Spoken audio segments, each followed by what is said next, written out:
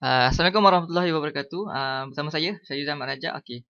Hari ini saya akan ajarkan uh, korang semua macam mana nak buat satu video uh, seperti mana dalam uh, YouTube page saya ni uh, yang bertajuk Hantu Raya Jadi Pembantu Rumah. So, apa yang anda lihat di sini adalah video saya. Ya, yeah, saya ada dua kat situ. So, macam mana nak jadikan dua macam ni. So, apa yang saya gunakan adalah menggunakan uh, uh, apa perisian uh, After Effect, Adobe After Effect. So saya akan tunjukkan secara ringkas lah sebab benda ni pun video ringkas sebenarnya. Uh, so apa yang perlu kita buat? Okay, mula kita okay, kita pause dulu lah. Okay, apa kita buat? Kita buka After Effect dulu. Hmm. Okay, saya gunakan After Effect, Adobe After Effect CS4. So sekarang uh, yang terbaru Adobe After Effect CS6 uh, sebab saya familiar dengan yang CS4 so saya gunakan yang CS4 bergantung pada anda lah. So, tapi uh, sebelum tu anda kena install dulu. Okay, kita skip bab-bab install dulu terus je kita buka Adobe After Effects. Okay, first time buka dia akan keluar macam ni. So kita tak perlukan ni kita close saja. Okay, apa perlu kita buat? Yang pertama sekali uh, mula-mula kita kena import file. So, import file ada beberapa uh, dua cara banyak cara sebenarnya. So kita tunjuk saya saya tunjukkan yang cara yang paling mudah lah. pertama adalah yang uh, import kita boleh import uh, import file pilih pada file import file pilih kat mana. So dia akan keluar kat sini. Ataupun um, klik dua kali kat sini. Sebab kat sini adalah uh, semua video music ke apa ke dia akan diletak di sini. So, klik dua kali kat situ.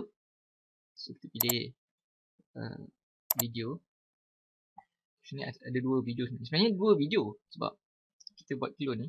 Kita gunakan dua video. Kalau kita ada tiga orang clone, maknanya tiga video lah. So kat sini kita ada vacuum. Maknanya video saya yang saya tengah vacuum tu. So yang reading ni yang saya tengah baca tadi. So kita import dua-dua.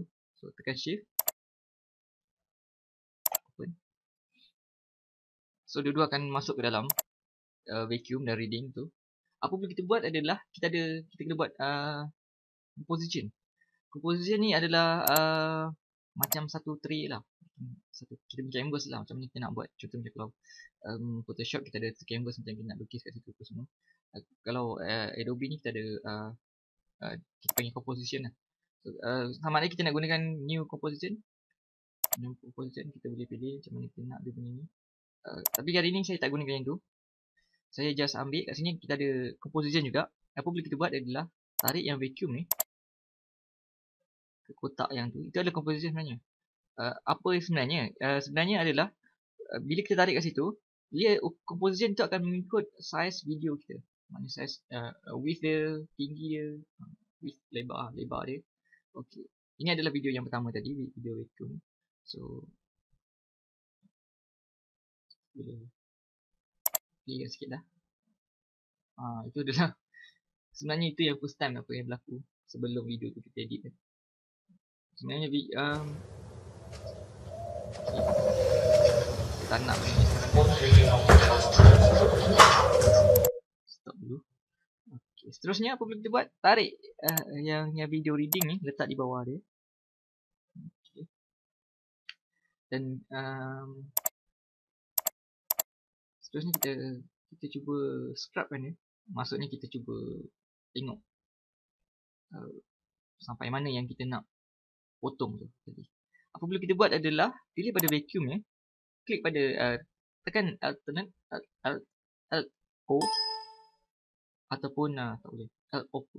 Sebenarnya kita nak tukar opacity dia tak tapi tak perlu kita just drop down button. Pilih dia transform, pilih opacity, kita cuba rendahkan opacity dia. Seolah macam Photoshop lah. Kita nampak kita dapat layer yang kat bawah tu. Itu layer reading tadi. So, nampak di sini. Saya tengah baca buku tu. Saya habiskan. So, seterusnya. So, so, kita tak nak. So, kita nak just right macam tu kan. Supaya kita tahu kat mana kita nak potong nanti. Okay, seterusnya. Sebelum kita potong, kita kena edit dulu video ni. Sebenarnya dekat, dekat After Effects, kita tak payah potong pun. Kita just tarik.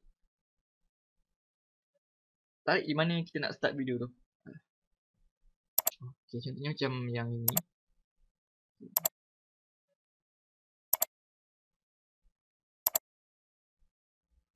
So, saya tak nak nak Saya tak nak yang So saya just tarik depan. Kalau anda dapat lihat saya tarik depan. Okay Supaya Image saya tu dah ada berada di situ. Okay seterusnya yang reading ni kita tarik ke depan juga. Untuk Tarik Sampai image saya tu nampak Okay kalau anda dapat lihat ni. Okay dapat.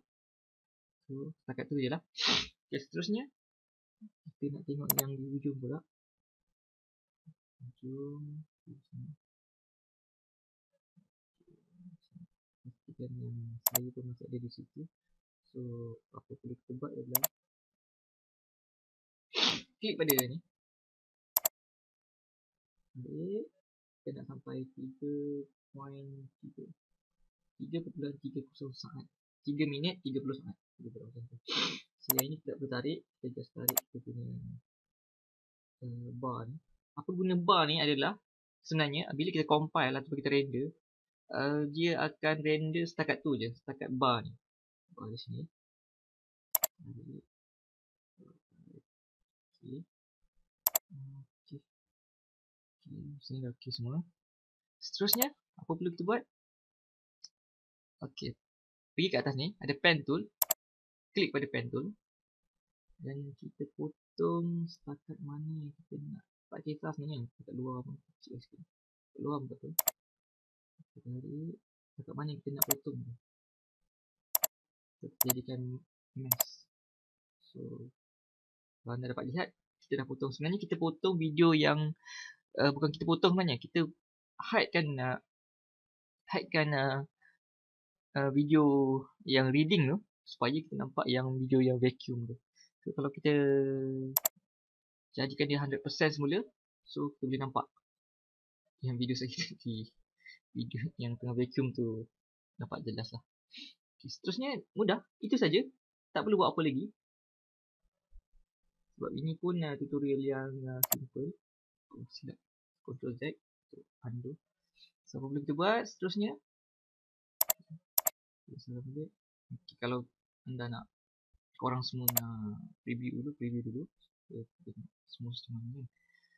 Okay, lalala. Sebab PC saya ni agak lambat sikit. Jadi Jimat masa kan. So, masa ni dah perfect kan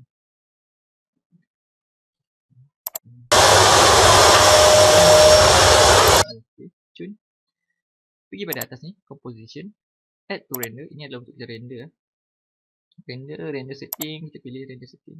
Best quality resolution berapa kita nak full ke apa ke. And then uh, tak ada apa lagi. Semua okay, biasa macam tu je. And then output mode. Output ni mode ni adalah uh, kita nak dia render ke format apa. Contoh macam saya ambil video media. Kalau video for Windows ni AVI dia terlalu besar so biasanya ada MOV sebab saya tak ada quick time jadi tak ada dalam senarai So saya akan ambil Windows Media. Windows Media. So output output ni audio output supaya kita dapat dengar dia ada bunyi tu. Okay. And then output tu. Output tu kita nak simpan benda ni kat mana kan. Kita simpan file yang kita render ke mana. So buatlah contoh ni saya buat clone ni. Clone. Clone. Okay. Okay. Savekan dia. Klikkan saja pada render. So kita tunggu sini. So render ni agak lama Bergantung kepada kelajuan komputer anda Ataupun notebook anda notebook saya ni i5 RAM 8GB Dengan uh, Graphic card 2GB Itu pun Bagus juga lah Okay Itu saja Yang perlu anda buat Kalau ada apa-apa komen Anda boleh Tuliskan di kat bawah tu Okay, bawah tu. Okay. Okay.